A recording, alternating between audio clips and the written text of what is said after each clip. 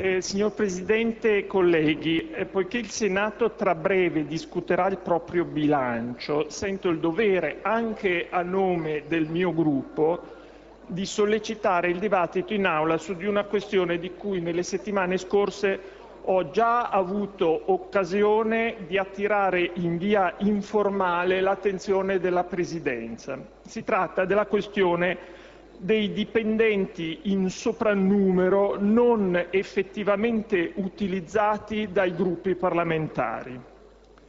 Con una delibera del Consiglio di Presidenza del 93, aggiornata negli anni successivi con alcune altre delibere di contenuto analogo, è stato istituito un meccanismo volto a consentire ai dipendenti dei gruppi parlamentari che risultavano non più costituiti all'inizio di una nuova legislatura, di non essere licenziati o riassorbiti dai partiti di appartenenza, ma essere, per così dire, assorbiti da altri gruppi interessati a impiegarli utilmente, anche in soprannumero, rispetto all'organico normale determinato in base al numero dei rispettivi senatori.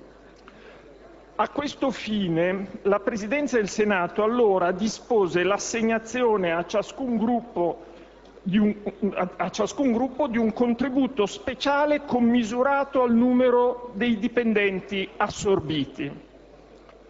La stessa delibera disponeva altresì che il personale dei gruppi disciolti che non fosse assorbito da alcun altro gruppo venisse a confluire nel gruppo misto.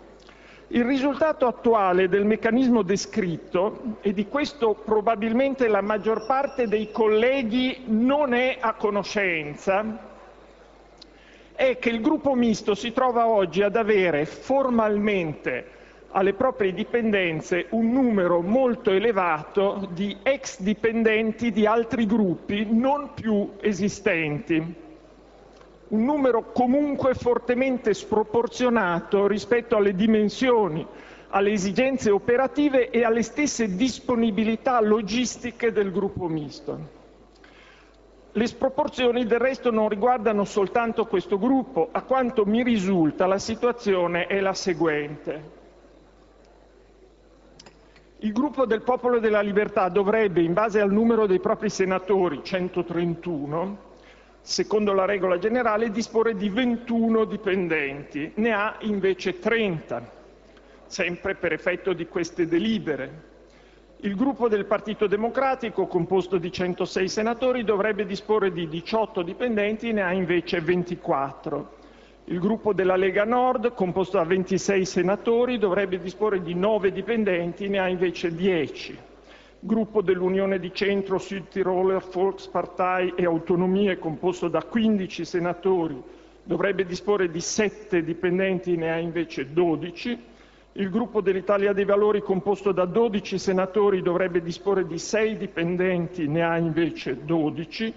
Il gruppo misto, infine, composto da 21 senatori, dovrebbe disporre di 8 dipendenti, ne ha invece 21. Chiedo scusa di questo elenco noioso di dati. No, io chiedo scusa invece, senatore Ichino, perché sì. vista la rilevanza io le sto concedendo ampio tempo, però sì. la prego di credere Sono... che gli interventi di essere... fine seduta hanno un tempo certo. limitato e limitato per tutti. Sì, ma... Prego. Abbiamo anche anticipato i tempi di chiusura. Come tema di regolamento non è un problema. Più rapido possibile. L'intera situazione merita una attenta riconsiderazione, non soltanto al fine di eliminare le sproporzioni evidenziate dai dati ora riportati, ma anche e soprattutto per verificare se e come il personale in soprannumero sia effettivamente utilizzato da ciascun gruppo.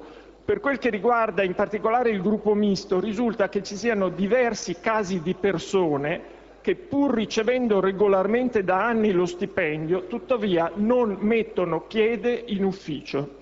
Più precisamente risulta che siano a libro paga di questo gruppo i seguenti ex dipendenti di gruppi non più esistenti: sette del gruppo del Partito Socialista Italiano, 4 del gruppo di Rifondazione Comunista, 3 del gruppo dei Verdi, 2 del gruppo della Democrazia Cristiana, 2 del gruppo del Movimento Sociale Italiano, 1 del gruppo del Partito Liberale Italiano, uno originariamente dipendente dal gruppo del Partito dei eh, Democratici di Sinistra, poi transitato per il gruppo della Sinistra Democratica per il Socialismo Europeo, uno infine dipendente originariamente dal gruppo della Lega Nord, poi transitato per il gruppo della Democrazia Europea.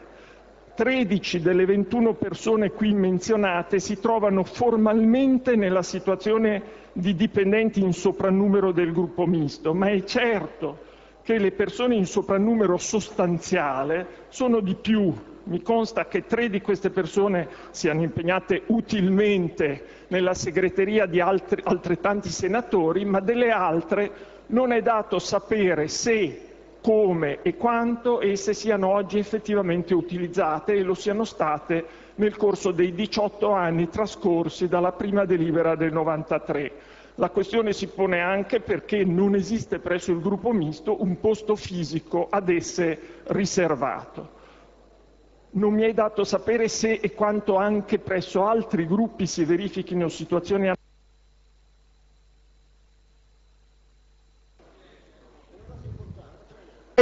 io come dire, le ho dato addirittura due minuti in più del tempo regolamentare di fine seduta. Allora, e ho iscritti a parlare altre dieci persone in fine seduta. Prego.